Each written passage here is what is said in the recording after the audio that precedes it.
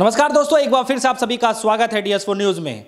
वैसे तो लगातार अब खबरें आ रही हैं कि उत्तर प्रदेश चुनाव को लेकर के बीजेपी के अंदर घमासान मचा हुआ है। पिछले कई दिनों से बैठकें चल रही हैं, मंथन किया जा रहा है। कि आने वाला सन 2022 का जो विधानसभा चुनाव है, उसमें प्रक्रिया किस तरीके से किया जाएगा, क्या रणनीति जो है अपनाई जाएगी। लेकिन इसी के बीच खबरें जो है लगातार हम सभी के सामने आ रही हैं। बताइए जा रहा है कि अब बीजेपी के साथ साथ जो आरएसएस की भी जो है मीटिंगें बैठनी शुरू हो गई हैं। आरएसएस ने बड़ा फैसला लिया है। आरएसएस की तरफ़ से सफ़ाई दिया गया है कि प्रधानमंत्री मोदी का जो चेहरा है, अब वो धूमिल हो रहा है। तो मायने ये रखता है कि आने वाले उत्तर प्रदेश के चुनाव में जो है, भारतीय जनता पार्टी ने योगी आदित्यनाथ के नेतृत्व में ही चुनाव लड़ने का फैसला लिया है। ऐसा आरएसएस का मानना है। आरएसएस ने पूरी तरीके से साफ़ कर दिया है कि प्रधानमंत्री मोदी का जो चेहरा है, अब वो धूमिल हो रहा है। और इसकी वजह जो है, हमने पिछले चुनाव में भी देखा। क्योंकि बंगाल में जब चुनाव हुआ तो एक फायर ब्रांड देखने को मिले मोदी हमारे देश के प्रधानमंत्री जी, जो कि वहाँ पर चुनाव प्रसार करने जाते हैं। और साथ ही साथ में जो है, उसका नतीजा जो है, एक सब सभी हम सभी के सामने भी आता है कि उसका नतीजा क्या देखने को मिलता है। लेकिन आरएसएस का एक बड़ा फैसला सामने आया है कि उत्तर प्रदेश में आने वाले समय में जो है योगी आदित्यनाथ के चेहरे पे ही चुनाव लड़ाया जाएगा और योगी के साथ साथ जो है उनके मंत्री ही सिर्फ़ चुनाव प्रसार करेंगे। और ऐसा माना जा रहा है कि आने वाले विधानसभा चुनाव में जो सन 2022 में पाँच राज्यों में चुनाव होने हैं। प्रधानमंत्री मोदी का चेहरा का यूज़ नहीं किया जाएगा, ऐसा आरएसएस का मानना है। हालाँकि अभी बीजेपी पार्टी ने इस पर भी कोई निर्णय नहीं लिया है, लेकिन आरएसएस ने जो अपने तरीके से पूरे पक्ष रख दिया है और ये नतीजे जो है बिल्कुल साफ़ कर दिया है कि प्रधानमंत्री मोदी की जो छवि है, वो खराब नहीं की जाएगी, क्योंकि बार बार प्रधानमंत्री मोदी का जो छवि है, क्षेत्रीय चुनाव में जो उतारा जाता है, उसकी वजह से जो है उनकी छवि धूमिल की जाती है छवि जो है, वो धूमिल हो जाती है, जिसका असर जो है आने वाले जो लोकसभा का चुनाव है, उसमें जो है काफ़ी अहम रोल माना जा सकता है, और काफ़ी जो है घाटा साबित हो सकता है। इसीलिए जो है, अब आने वाले चुनाव में जो है प्रधानमंत्री मोदी का जो चेहरा है, अब वो शामिल नहीं किया जाएगा। इसलिए आरएसएस ने एक बड़ा फैसला लिया है।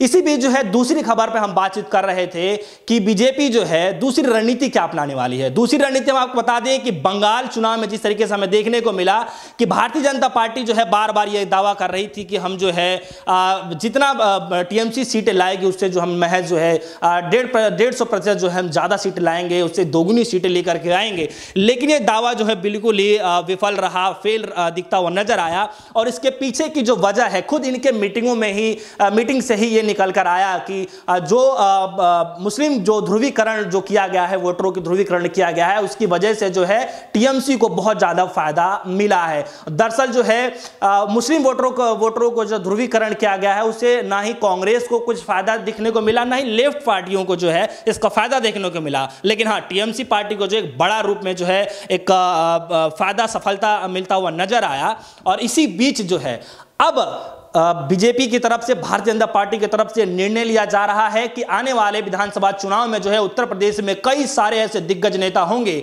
जो मुस्लिम वोटरों को रुभाने के लिए उतार सकते हैं और जो जो कैंडिडेट होंगे, आधा से अधिक जो कैंडिडेट होंगे, माना यह जा रहा है कि वो मुस्लिम कम्युनिटी के लोग होंगे ताकि जो है ऐसी एक मैसेज जा सके कि भारतीय जनता पार्टी जो है वो मुस्लिमों से जो है कट्टरता नहीं करती है, उससे जो है नफरत नहीं करती है। और ये भी इसलिए माना जा रहा है, प्रधानमंत्री मोदी को इसलिए भी नहीं उतारा जा रहा है कि अगर प्रधानमंत्री मोदी जी अगर आने वाले सन 2022 के चुनाव में उतर सकते हैं, अगर उतरते हैं तो ये मानिए कि कहीं ना कहीं जो मुस्लिम वोटर हैं, वो भड़कते हुए नज़र आएँगे और इसका जो पूरी सफलता है, वो सपा पार्टी जो है या फिर कांग्रेस पार्टी पे जो है, इसका काफ़ी ज़्यादा जो है असर देखने को मिल सकता है। उनको ज़्यादा बेनिफिट मिल सकता है न कि भारतीय जनता पार्टी को। इसलिए जो है, अब आने वाले चुनाव में जो है, सबसे ज़्यादा वोटर जो है, मुस्लिम कम्युनिटी को अट्रैक्ट करने के लिए जो है, भारतीय जनता पार्टी रणनीति अपना रही है। और सबसे ज़्यादा कैंडिडेट जो है भारतीय जनता पार्टी से ही रखे जाएँगे मुस्लिम वोटरों को लुभाने के लिए, यानी कि मुस्लिम कैंडिडेटों को भी जो है इस बार मौका दिया जाएगा भारतीय जनता पार्टी से